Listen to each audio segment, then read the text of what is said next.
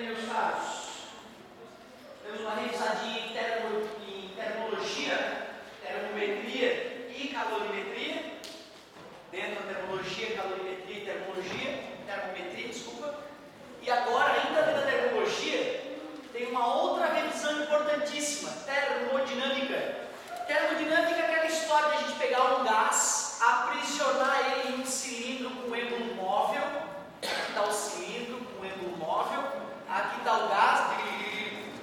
Aí a gente discutiu né, que quando a gente joga uma certa quantidade de calor nesse gás, o gás fica mais agitado. Bate no êmbolo e ergue o êmbolo, realizando o trabalho. Porém, uma boa parte dessa energia que foi entregue para o gás não consegue ser convertida em trabalho e acaba variando a energia interna de um gás. Então tu vê, não é difícil compreender a primeira lei da termodinâmica, que na verdade é o princípio de conservação de energia. A energia que o gás recebeu, parte dela se transforma em trabalho, na expansão do gás, mas parte dela deixa o gás mais agitado, mais desorganizado. Isto é a primeira lei da termodinâmica. Simples assim. A quantidade de calor nós vimos né, que a gente usa o quimacete ou quimolesa, mas é muito raro essa conexão da matéria interior com essa. Agora, o trabalho, eles vão te pedir para calcular o trabalho do gás. Se o gás estiver sob pressão constante, basta usar essa fórmula. Mas essa fórmula só é válida para pressão constante, só para P igual a uma constante. Esta fórmula só é válida para transformação isobárica. Essa fórmula também nos ajuda a lembrar que quando o gás se expande, o volume aumenta, e aí o trabalho é positivo. Quando o gás se contrai, o volume diminui, o trabalho é negativo. A gente diz que o gás sofreu trabalho quando ele é espremido. E se a transformação for isovolumétrica ou isocórica, não vai ter variação de volume, o trabalho é nulo. Se o gás sofre uma transformação onde a pressão dele varia, a gente teria que pegar o gráfico pressão versus volume e calcular a área embaixo desse gráfico. A área desse gráfico representaria o trabalho. O trabalho é numericamente igual à área. Digo numericamente igual porque pode ser positivo ou negativo, como acabamos de ver. A energia interna, eu comentei né, na aula passada que a energia interna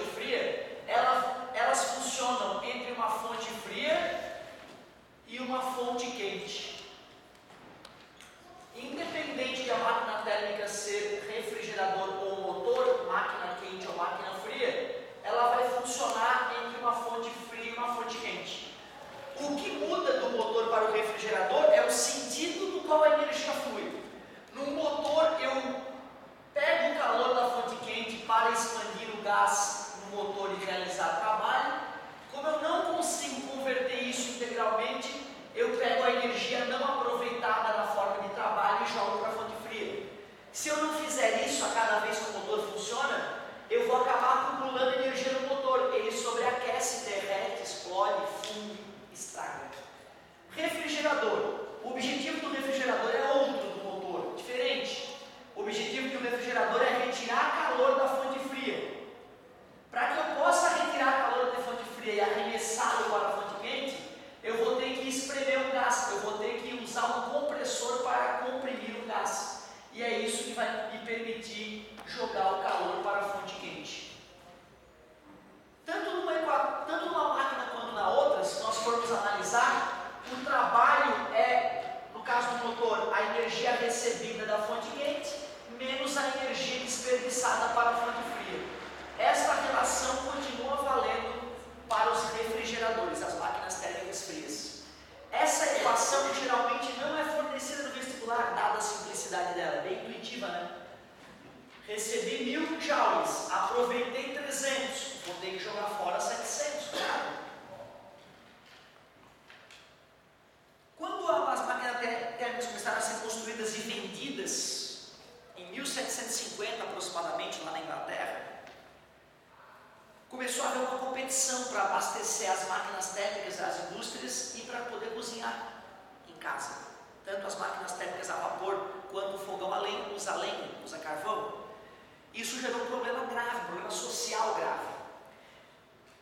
E aí os projetistas das máquinas térmicas foram obrigados pelos seus compradores para deixar as máquinas cada vez mais eficientes, cada vez mais econômicas. Ou seja, há uma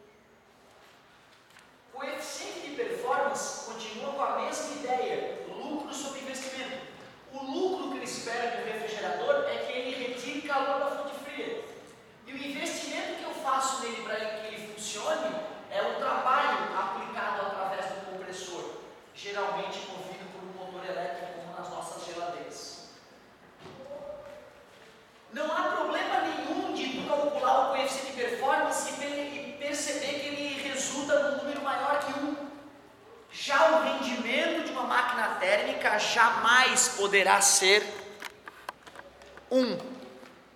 Então, muito cuidado com isso.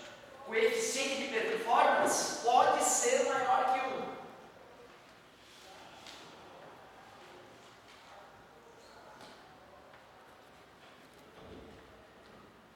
Segunda lei da termodinâmica. Segunda lei da termodinâmica. Como nós vimos, quando eu jogo calor do gás que está na máquina, esse gás se agita, se expande realizando o trabalho. Mas depois que ele se expande, ele não volta à condição inicial, ele fica mais aquecido do que ele estava. Por isso eu tenho que jogar uma parte do calor fora. E isso tem a ver com o próprio comportamento do gás. Ou seja, o W sempre vai ser um número menor do que o calor que eu recebi. Portanto, é inevitável. O rendimento numa térmica jamais será igual a 1. Então, uma forma bem resumida de a gente enunciar a segunda lei da termodinâmica é que o rendimento numa máquina térmica é sempre inferior a 1. Então, colocar ele em porcentagem é bem-vindo. Pode colocar o rendimento da máquina térmica em porcentagem. Outras maneiras de enunciar a segunda lei termodinâmica. Uma máquina térmica é incapaz de converter calor integralmente em trabalho. Uma máquina térmica desperdiça energia sempre. Uma máquina térmica retira calor da fonte quente e rejeita o excesso de calor para a fonte fria. Estou falando a mesma coisa com palavras diferentes. Para ser mais ninja, aí só se a gente lembrar daquela grandeza física muito especial chamada entropia. Entropia é uma grandeza física já refinada, difícil de compreender.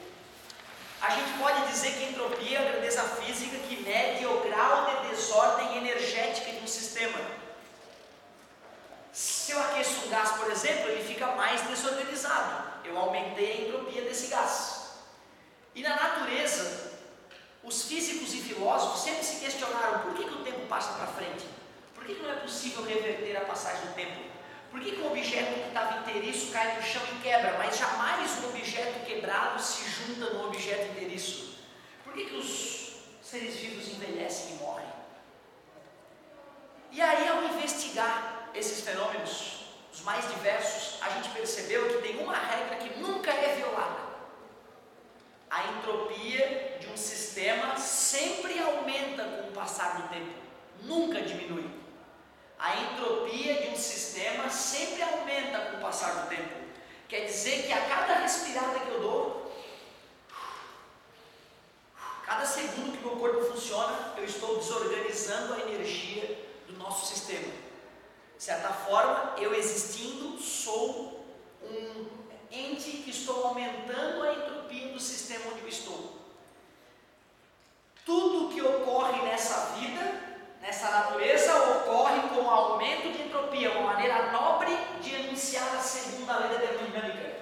Segunda lei da termodinâmica, todos os processos naturais ocorrem com aumento de entropia. E isso, de certa forma, nos permite filosofar sobre o fim do universo. Depois de muitos bilhões de anos, quando as estrelas mais jovens começarem a chegar no final das suas vidas, nós teremos uma situação onde o universo vai ter gás fino e frio espalhado por todo o universo, e a entropia do universo vai ser tão grande, tão grande, que nada mais poderá existir além de repente de movimento uniforme de partículas soltas se mexendo para tudo que é lado. Né? Isso é uma coisa clássica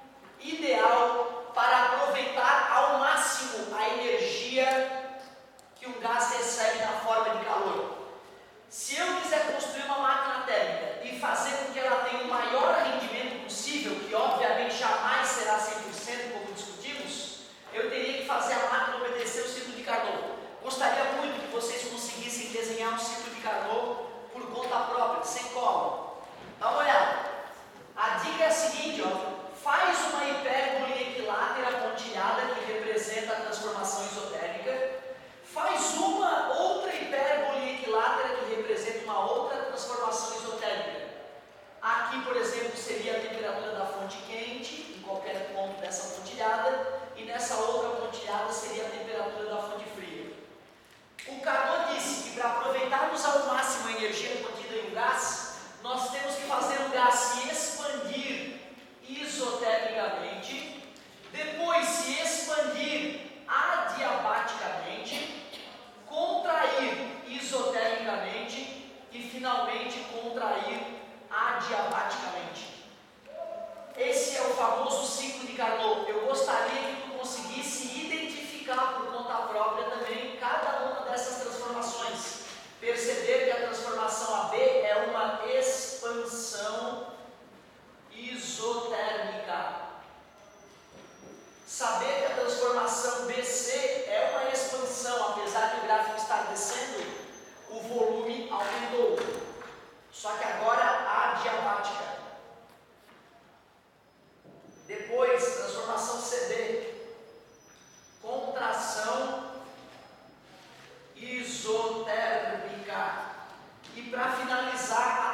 ação real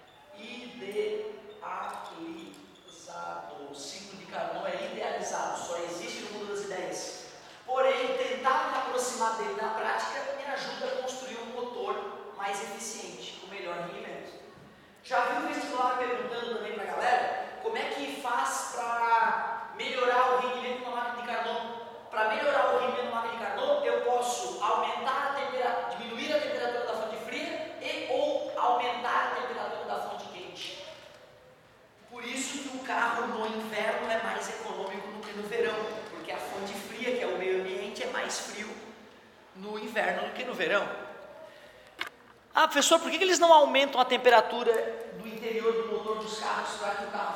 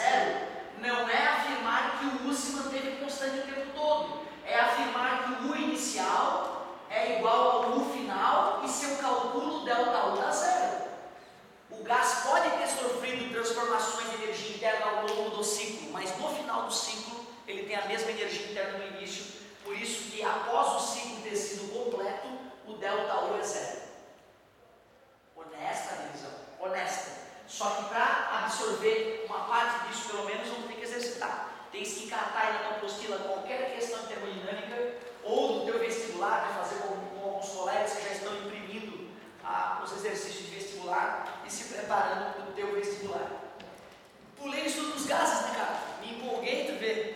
Me empolguei e acabei pulando um pouco a ordem natural das coisas, mas não há problema, nós não acabamos não precisando dos conceitos básicos aí para revisar a termodinâmica. Vamos dar uma olhadinha em gases antes de migrar para eletricidade, eletrostática e eletrodinâmica? Gás. Para que eu conheça bem gás, eu tenho que lembrar de gás ideal, gás real e gás perfeito. Gás real é o gás criado na mente dos estudiosos do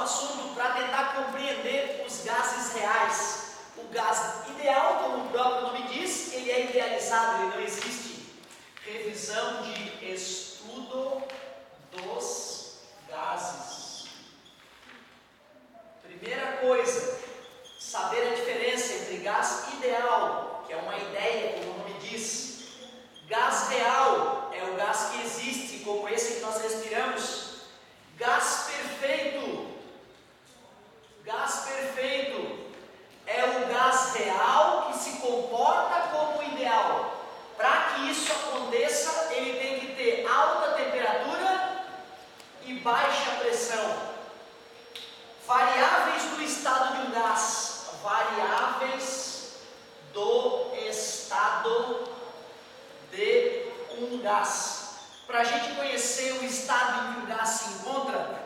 preciso saber que pressão as suas partículas exercem no recipiente que contém o gás. Eu preciso saber que volume que esse gás ocupa. E muito importante, eu preciso saber a temperatura. Só que a temperatura pode ser medida apenas em Kelvin. Kelvin. Não vem mexer com gás e usar uma outra temperatura que não seja a Kelvin. Propriedades dos gases. Propriedades. Os gases apresentam duas propriedades que o estado sólido e líquido não apresentam: expansibilidade, capacidade de se expandir, expansibilidade.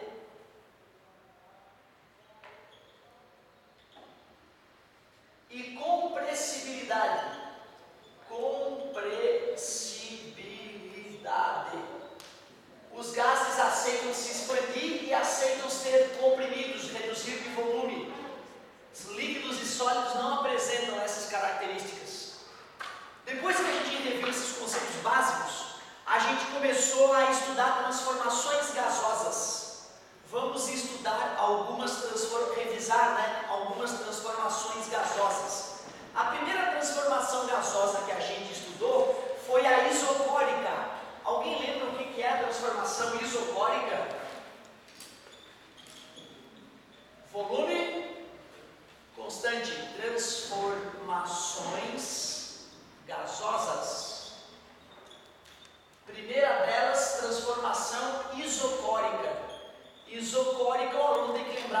isovolumétrica, ou seja,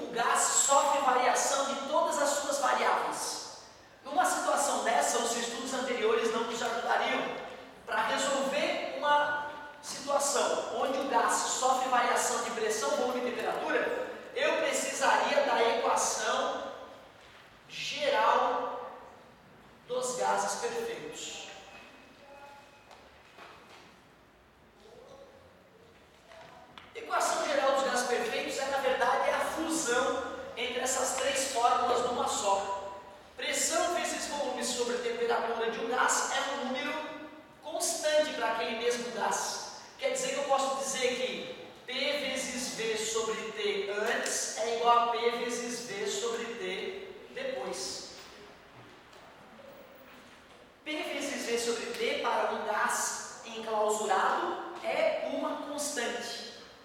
Claro que vem uma dúvida, né? Constante é essa que depende de quê?